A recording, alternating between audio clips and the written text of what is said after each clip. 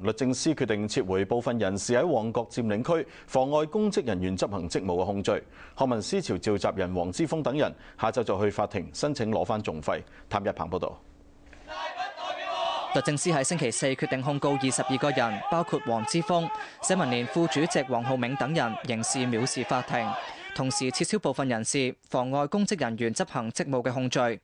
多人去到裁判法院申請攞翻訟費，控方唔同意申請，但係冇作出反對。裁判官考慮到控方落案嘅時候，應該已經預計到高等法院會有行動。而家控方自行改變主意，睇唔到拒絕被捕人士申請攞翻訟費嘅原因。結果裁定黃之峰可以攞到大約二萬二千蚊嘅訟費，黃浩銘可以攞到大約一萬五千蚊，其餘各個人攞到五百蚊。而就住學生如果因為佔領行動而被捕或者判刑，中大話有既定程序，決定改個學生學位嘅問題，而家唔能夠一概而論。啊，所有嗰啲事實我哋都未知道嘅。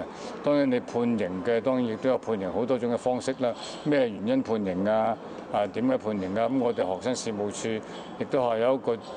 章程呢係係睇呢方面嘅嘢嚟嘅，因為我哋有一個程序嘅，我哋亦都有一啲係叫做紀律嘅小組係睇呢樣嘢，唔係我我哋可以就咁話一個好概括咁樣講嘅。